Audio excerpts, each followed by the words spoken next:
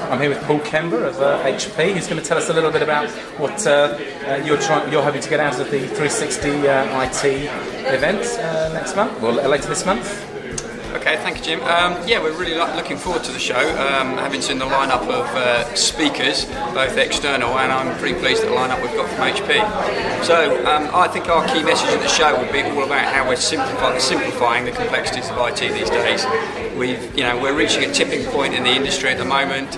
Uh, we've created this what we call IT sprawl. Uh, we're creating this huge how we manage our IT organisations, and quite frankly, something's got to change going forward.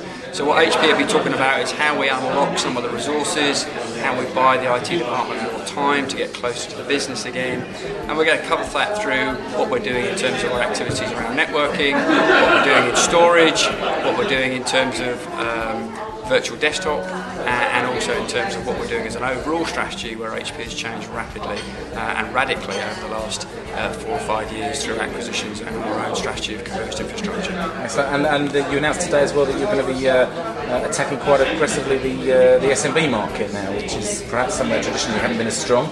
Uh, can you tell us a bit about that? Yeah, I think uh, again it's a further proof point of the strategy we've been following. So where we're looking to build on common modular infrastructure, utilise our economies of scale, and actually use the benefits of being a full cross-portfolio organisation. By that I mean servers, storage, networking, desktop, printing. How do we combine those technologies and actually make it easier for our users, both in the enterprise, but not, you know, quite frankly, in, and in, in SMB as well, which is a huge part of the market, which actually needs all the cost savings, all the simplicity that the enterprise customers need as well.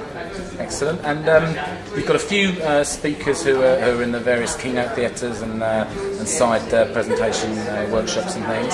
Uh, any of those you want to tell me about? Uh, well, I think I'll be particularly good. So.